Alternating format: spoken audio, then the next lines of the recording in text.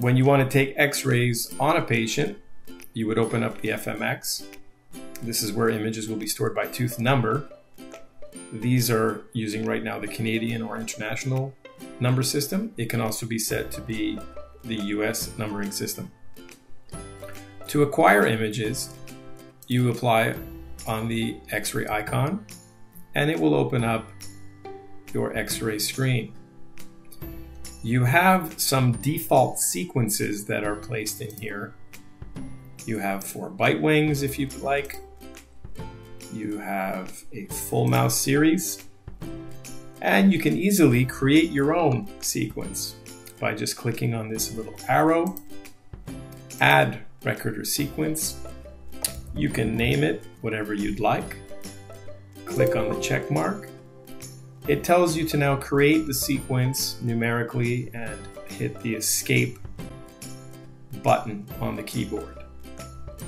So if you like to start on this area here, and then this area here, and then these ones, and so on, you can record as many as you'd like and then hit escape. The sequence has been recorded, and now we were on the custom. So this is where every time you come in, you can choose what you want, what you would like. If if Amanda likes to take it a certain way, or if someone else likes to take it another way, this can all be customized.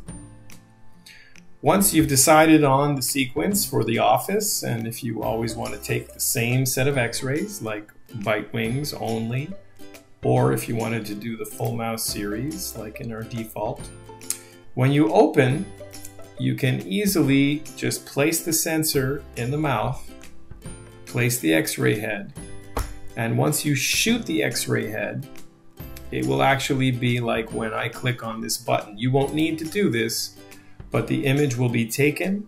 You'll be able to view and see if it's an image that you think is good. And the computer will automatically advance to the next number in the sequence. So all you would do here is move the sensor forward in the mouth and hit the x-ray head again and automatically the x-ray radiation will move the system forward into the sequence. So you really don't need to touch the mouse or touch the keyboard or touch anything here. Every time you take an x-ray, it will advance through the sequence. If you do make an error, you can always re-click and retake the image by just shooting the x-ray head again. This will place the image over the last image. It will keep the other image just in case, but it will put another one on top of it. If for some reason you've made an error in acquisition and it's in the wrong area, you can easily just click on that x-ray, left mouse click continually, and you can drag and drop it anywhere in the full mouth series. You can also reorient by right mouse clicking. It'll open up a menu and it will allow you to rotate it any which way you'd like to put it in the right orientation and then it will stay that way.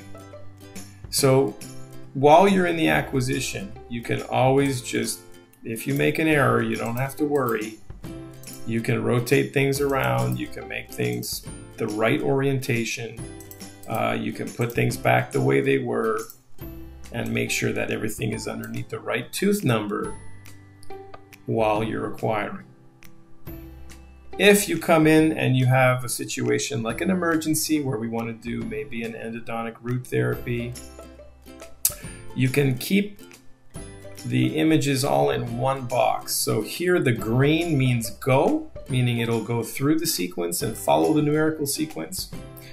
You can always bypass this sequence by just clicking anywhere and it will take the image there, but it will then continue through the numerical sequence as you progress.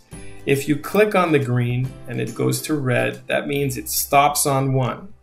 So if we have an upper central, that we've had a hockey accident and you wanted to do a root canal, now you could take an x-ray and you could save it there in that one box.